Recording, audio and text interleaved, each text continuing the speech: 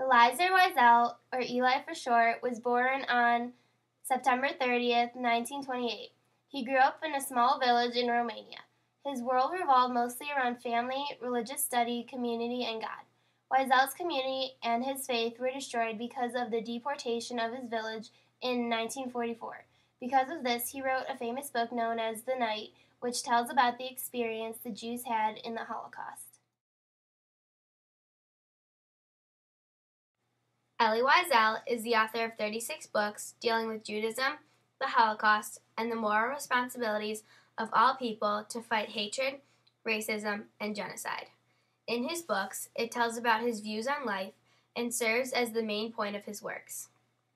In his book, The Night, he summarizes the nights at the camp, especially his first night, where he described the sounds, the children, and the smell, in which he said changed his life forever and deprived him of the desire to live.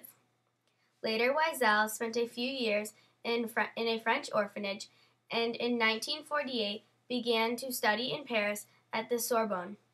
Because of his studying and service work, he has published 36 books and earned the Nobel Peace Prize and was appointed to chair the President's Commission on the Holocaust and was awarded the Congressional Gold Medal of Achievement.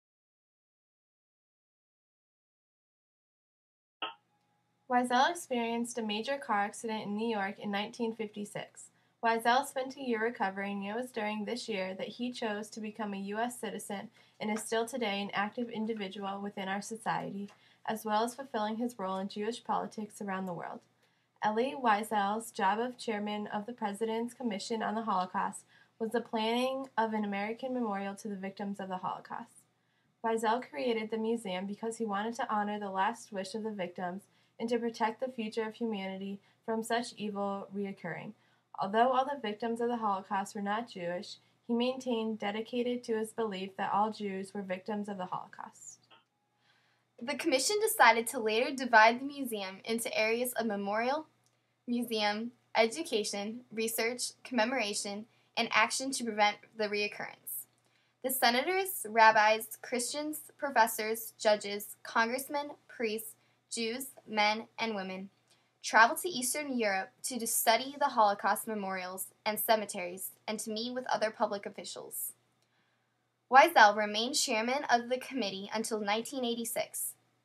He has helped in the recognition and remembrance of the Soviet Jews, the establishment of Israel, and has dedicated the main part of his life to the witness of the second generation and the memory that is carried on after the survivors have all left us.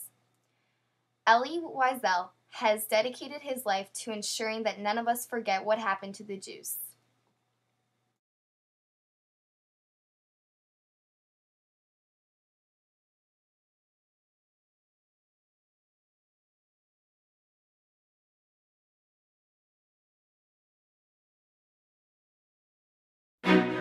Hey, Jay Sean, Sean right here. Alright. It's for all the ladies. Alright. Ladies, you wanna take it back? Oh, no. Don't, don't say it. Oh, holla at him, Jay.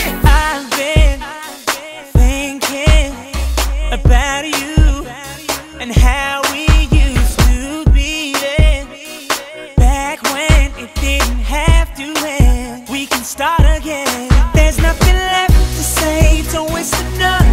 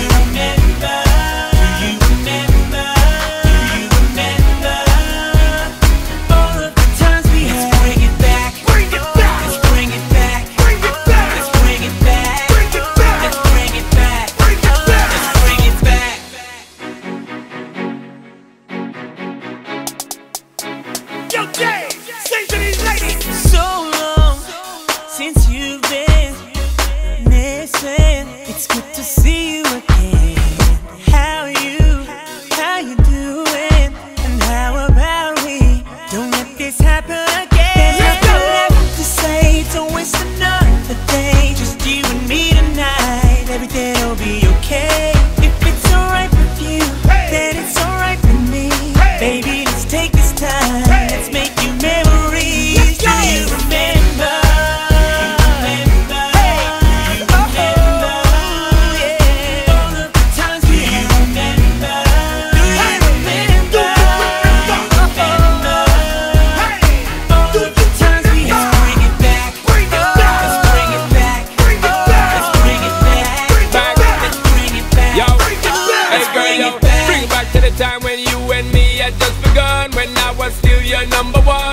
Seem perfect, baby girl, but it can't be done. I got this feeling, fire blazing, and it hot just like the sun. Know you feel it too, my girl, just breathe up, man. The good vibes run. Girl, take a sip of the champagne, take a little trip down my lane, my girl. Wilding out every night, I will feel alright. Make I tell you this, girl, that's my world. Not change, I'm not rearrange, I girl. I'ma tell you this straight, that's my word. I'm here, say you want come kiss this girl, cause you missed it. That's what I heard.